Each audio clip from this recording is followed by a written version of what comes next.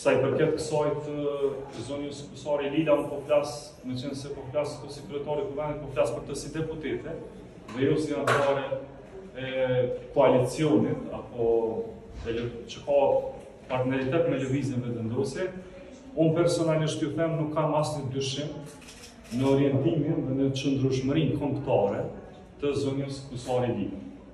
Pra nuk kam asnjë dyshim për tradhti kombëtare apo çfarëdo të kësaj natyre.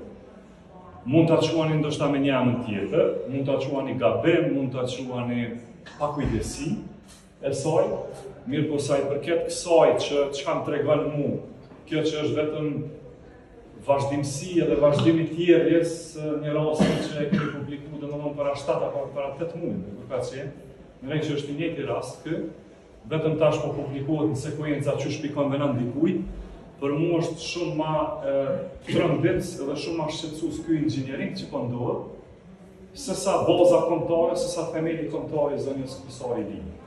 Ju e dini që zoti Radojçiç e ka përjetu humbjen ma të madhe Në Kosovë, këto dy vitet e fundit, ai ka hupë gjithçka që ka pasë në Kosovë.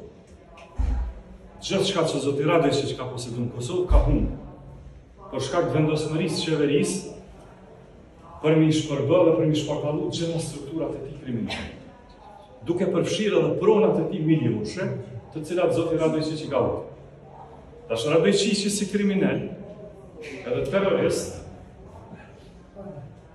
Po don me vazhdu këtë betejë në këtë mënyrë. Po don si në formë hakmarrjes, me zbe legjitimitetin e intervenimit të qeverisë në pjesën e veriut të Kosovës.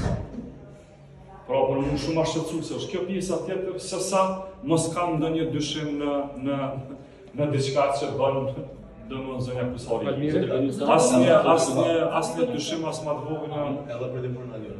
Domethënë qëllimi i Serbisë është gjithmonë destabilizimi i Kosovës edhe krijimi edhe i agjentëve të brendshëm në Kosovë, brenda Kosovës edhe nga radhët e shqiptarëve që me vazhdu sfidimin e shtetit të Kosovës dhe shkatërrimin e strukturave tona institucionale, Kështu që kjo e bën ligjin në fjalë edhe ma urgjente. Kjo pikërisht kjo që ndodhi dje. Dhe besoj që edhe shumë raste të hetohen dhe të zbulohen edhe më tej. Faleminderit.